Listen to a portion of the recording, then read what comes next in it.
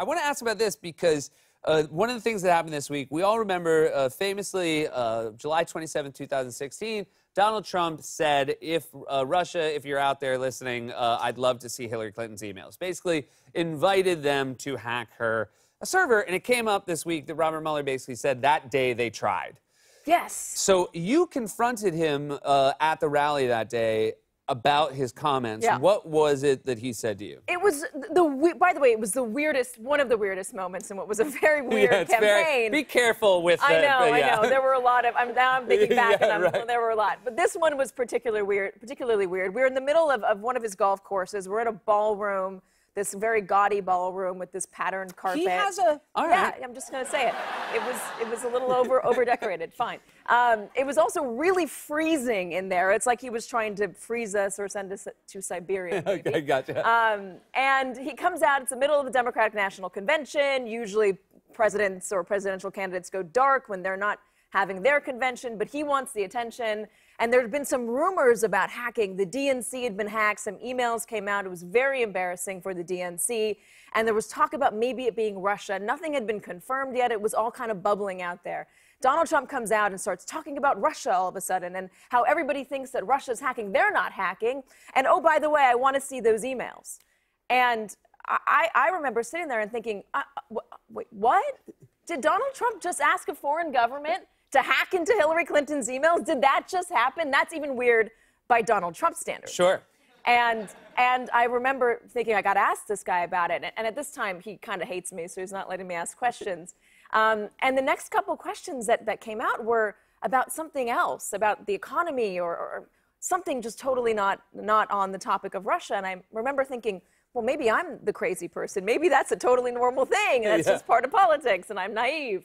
Um, but eventually, I, I decided that no, it's a big question, and I had got to get his attention. So I'm waving my arm frantically, and he's not calling on me. And so I go back to my tried and true strategy, which is to flatter him in order to get him to pay attention to me. And so I said, Your poll numbers are really great. And he turns and looks at me and he says, Katy. Katy, is that you? Are you wearing a disguise? Oh, no, that is you. And I said, Yes, your poll numbers are great. Let me ask you about Russia. Does it not give you pause to ask a foreign government to hack into the election? And he doesn't even let me finish the, the sentence. No, it does not give me pause. What should give you pause is Hillary Clinton and her missing emails. And I said, Hold on, hold on, hold on. You are asking a foreign government to meddle. And he's like, You're just trying to save her. And I said, No, no, you're asking a foreign government to meddle. And he keeps steamrolling over me. And he, at the end of it, says, No, I would really like to see those emails. So that was a huge day. This is an, an American presidential candidate asking for help from a foreign government, doing it very blatantly. It was very weird.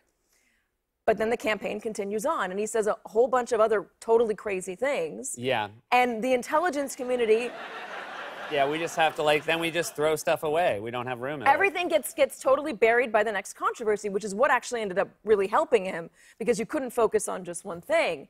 And a lot of folks asked, well, why didn't you press that harder?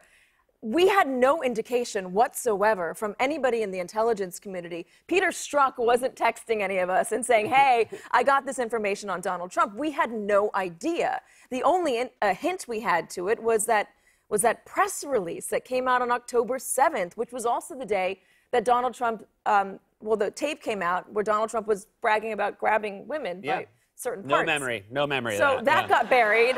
That got buried, and it was only a press release that said Russia wanted to meddle. It had nothing to do with, with Donald Trump's campaign. Fast forward to today, and oh my God, that date is so significant. We had it come out in the in the indictment that Russia uh, that Mueller put out on Friday, saying July 27th, the day Donald Trump said, "Russia, if you're listening."